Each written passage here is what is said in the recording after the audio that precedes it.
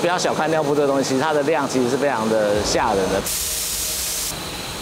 这是我们废弃尿布的产线。那我们现在左边像焚化炉一样，它有自己的一个储坑，一个天车系统。我们的尿布进场之后，它会到我们的储坑里面。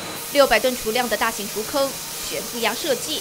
即便我们来到尿布回收还原厂，站在厂区内，面对沾满秽物、臭气熏天的尿布，也几乎闻不到熏鼻异味。一袋一袋的进来之后，它会先经过我们的一个破袋机，它会把尿布剥出来，就是把它破碎。对，三条清洗线轮流运作，全长六米、密闭的六槽式清洗系统，把脏污、使用过的臭尿布像用洗衣机清洗脱臭。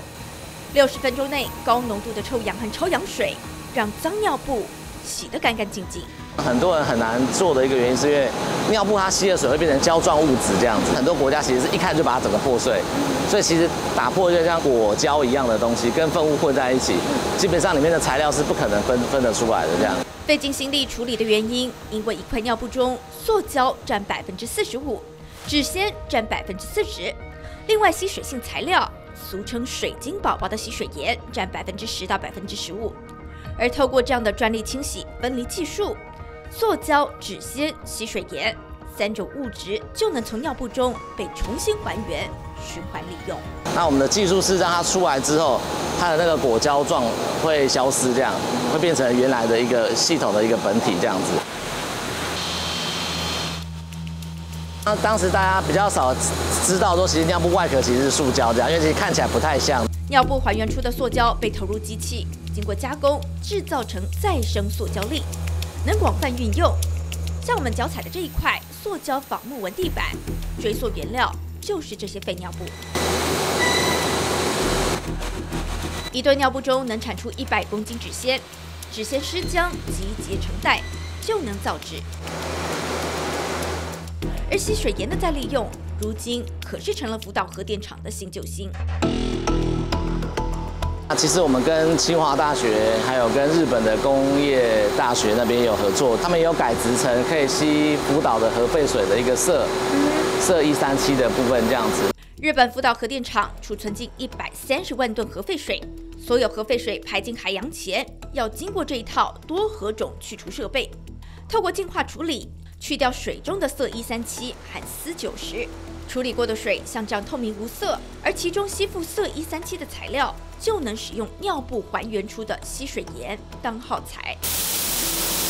日本福岛核废水就要排一百吨，所以他们日本当时的都是讲说以废制废的概念这样。尿布达到全球创举，有了回收循环的可能，重要研发推手就是尿布回收厂的技术长吴贝任。过去他是清大核工所材料博士，跨界替废尿布找出路。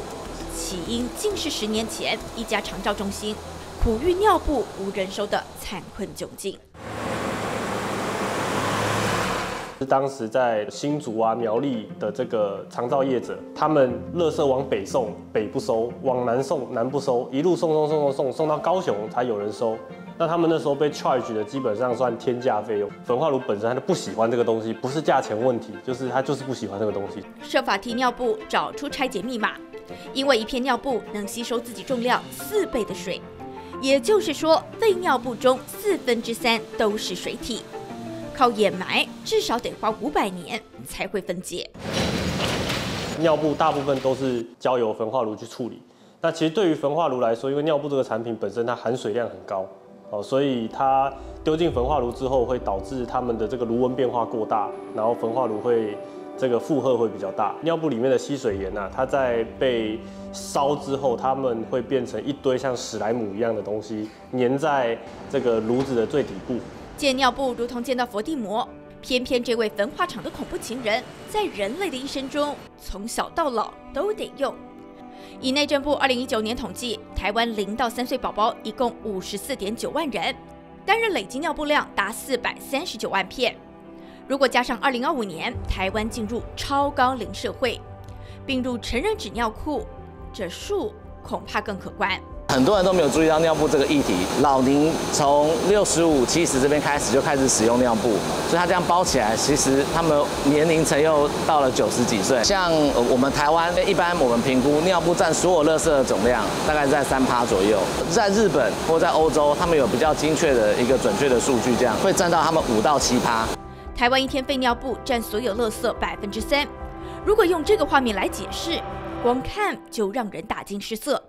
因为一天废尿布重量达一千三百吨，相当于一天叠出一百七十二座一零一。以焚化炉一天焚烧上限一千吨来说，一座焚化炉一天都烧不完单日产的废尿布。当时我其实在这间公司成立的时候，是我刚退伍的时候。那时候我从美国读书回来，突然间就有个朋友说：“哎，你有没有兴趣收垃圾？”我说：“哈。”收垃圾，我那时候在脑脑子里幻想，是不是什么核废料啊？是不是什么那种这个军武啊？那种很帅的这种特别的垃圾？他说尿布，尿布收了要干嘛？哦，那才开始，他就慢慢跟我介绍这些想法。正当日本、荷兰先进国家还在烧脑，尿布之乱怎么解？秦锡军相中了吴贝任的研究技术，决心投资共创业，要让尿布拆解循环再利用，从实验室走向能量产。他们自己开发产线，期望单日能处理五十吨的废尿布，外加尿布与卫生棉制造厂产出的 NG 品和过期品。台湾或者全世界没有人做过尿布回收，所以没有人可以告诉我它的规范到底长怎样。法规遇到的问题就是台湾政府或者说是公务人员，他们都依法行政，但是当你无法行政的时候，那你就无法行政了。新兴技术要落实产业量产，创业路如同走在荆棘，没有模板当参考，自己的路自己闯。身为领头羊，闯荡六年间，尽管资金一度烧光，各种波折也没少过。但年纪轻轻的秦锡军坚持这条路是对的，因为尿布除了再利用能炼金，最重要的是它能当全球垃圾焚化炉的延寿良方。